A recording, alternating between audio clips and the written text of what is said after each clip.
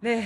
다음은 되게 또 이제 희귀한 사람이 나타났어요. 국힘당의 장해천이라는 사람인데 이 사람 최고위원까지 했습니다. 직무와 상관없는 사생활의 영역에서까지 도덕적으로 옳은 인간상이 강요돼야 하는 것일까? 매일 밤 난교를 즐기고 예쁘장하게 생겼으면 남자든 여자든 가리지 않고 찝적대는 사람도 맡은 직무에서 전문성과 책임성을 보인다면 존경받을 수 있는 사회가 건강한 사회이지 않을까라고 얘기해서 지금 난교 예찬이라고도 불려요. 참 이름이 진짜. 예찬이어가지고 참 진짜 장명의 음. 달인들이세요.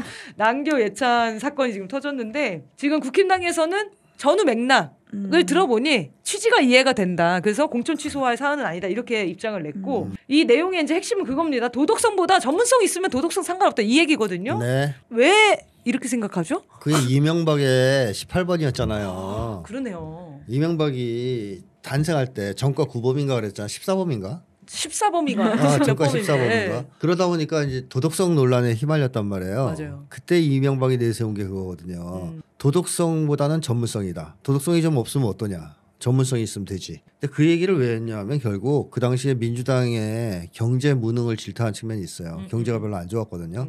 그리고 신자유주의 여파로 국민들의 이 돈에 대한 욕망은 또 최고조로 그렇죠. 달아올랐던 때입니다. 네. 이 이명박은 그거죠. 잘 살게 해주겠다. 음. 뭐돈 많이 벌게 어, 해주겠다. 도덕적인 네. 사람 뽑아서 가난한 것보다는 나 도둑놈이지만 정가자지만 날 뽑아주면 부자 되게 해주겠다. 이렇게 사람들을 속여 넘길 때 썼던 논리가 바로 전문성이에요. 네. 도덕성이 아닌 전문성. 그래서 어떻게 됐어요? 우리 부자 다 됐나요? 아니요. 완전히 그러게. 이제 속았잖아요. 네. 이명박만 부자 되고 끝났습니다. 네, 이건 부자. 우리는 다 속았잖아요. 음. 자, 이 얘기에서 핵심은 전문성 부족과 도덕성 부족 중에서 뭐가 더 나쁘냐? 도덕성 부족. 네, 전문성이 부족하면 개혁을 추진하거나 좋은 일을 하려 그래도 속도가 느릴 수 있어요. 전문성이 떨어지면 잘 못할 수 있다는 거죠. 그렇지만 도덕성이 없으면 어떻게 되겠습니까? 엄한 대로 가겠죠. 국민 등골 네. 빼먹겠죠. 음. 그러니까 개혁은커녕 국민들 등골 빼먹겠죠. 자, 도덕성 없는 사람이 왜, 걸- 왜 권력을 잡으려 그럴까요? 사회적으로 인정 못 받아서. 도덕적인 일을 하려고? 아 아니요. 비도덕적인 일을 해도 무마시키려고. 어. 쉽게 간단하게 얘기할게요. 도덕적이지 않은 사람이 권력 잡는 이유는 돈 끌어모으려는 거 아니에요. 음. 권력을 이용해서. 네. 그 고속도로 휘게한다든가 이런 짓을 하려고 하는 거 아니에요. 그럼 이 사람들이 국민들 잘 살게 해주겠어요? 관심 없죠. 자기들 배만 채우겠지. 음. 그래서 도덕성이 없는 사람들이 만약에 권력을 잡으면 국민들은 완전히 거덜나는 거예요. 주머니 다 털리는 거예요. 국민들 등급을 빼먹을 거니까. 그래서 여기서 도덕이라는 얘기를 한번 다시 한번 생각해 볼 필요가 있는데 우리 인류가 왜 도덕이란 걸 왜 만들었을까? 공동체의 유지 발전을 위해서 만든 집단적 행동 규범이 도덕이거든요. 네. 한마디로 공동체를 위해서 만든 게 도덕이다. 이렇게 얘기할 수 있어요. 그럼 도덕성이 없다는 얘기는 뭐예요? 부도덕하다는 얘기는. 공동체 이익에 관심 없다. 넌 관심 없는 정도가 아니라 그걸 침해하는 사람이죠. 아. 그 규범을 안 지키는 거잖아요. 네. 다시 말하면 반사회적이란 말과 통해요. 부도덕하다는 말은 네. 이런 사람이 전문성이 있으면 무슨 짓을 하겠습니까? 반사회적인 행위만 하겠죠. 반사회적인 행위를 하겠죠. 사회에 엄청난 해가 되겠죠. 따라서 둘 중에 하나를 굳이 선택해야 된다면 도덕성을 선택해야 돼요. 음. 적어도 이 사람은 사회에 해를 끼치는 짓을 의도적으로 하지는 않을 테니까. 근데 이 장혜찬이라는 사람이 재미있게 얘기했잖아요. 도덕적으로 옳은 인간상이 강요돼야 하는 것일까라고 해서 강요라는 표현을 썼어요. 도덕성은요 강요되는 게 아닙니다. 음. 양심의 기초에서 자발적으로 지키는 것이 도덕이에요. 그러니까 이 사람 이 장혜찬 같은 사람들은 강요당했다고 생각하는구나. 도덕 도덕 양심이나 도덕에 대해서 이해도 못하고 이게 없는 거예요. 없는 거라고 저도 어. 생각이 그렇죠. 아예 우리가 생각하는 도덕하고 색깔이 아예 다르다. 그렇죠. 이해가. 제가 계속 얘기하지만 윤석열 같은 사람은 양심이 없단 말이에요. 양심이 불량이에요. 그래서 윤석열의 양심은 딱 그거거든요. 혼날까 봐 처벌이 무서워서 조심하는 것밖에 없어요. 처벌 공포가 사라지면 일탈 행위를 멈춰주겠죠. 이 사람들은 처벌이 무서워서 도덕 규범을 지키는 사람들이에요. 음. 따라서 강요당한다고 느껴요. 네. 근데 우리는 강요당한다고 느끼지 않거든요. 아니죠. 우리 원희룡처럼 길가에다 오줌 안 싸잖아요. 술, 술 먹고. 따로 배우지 않았지만 나쁜 일 하려고 하면은 어, 어, 망설여지는 양심 게 인간인데. 양심 때문에 양심이 제대로 형성돼 있으니까 그래서 우리는 오줌 안 싸요. 근데 원희룡은 오줌을 싸고 싶은데 강요당한다고 생각하는 거 아니에요. 음, 왜 도덕이 있어가지고. 어 도, 도덕이 왜 있어가지고 여기서 내가 오줌 싼 걸 갖고 난리야. 내가 좀 싸겠다는데. 네. 자 이런 식의 사고 방식이 장혜찬한테서도 드러났다. 네. 강요라는 표현 자체는 도덕과 어울리는 단어가 전혀 아니거든요. 네. 그렇죠. 그렇게 말씀드리고 싶고 그다음에 이 난교 파티 찝적되는 얘기는- 예시를 들으면 왜 이런 예시를 들죠? 자, 그 얘기 제가 하고 싶은 거예요. 이게 이제 상상력인데요. 네.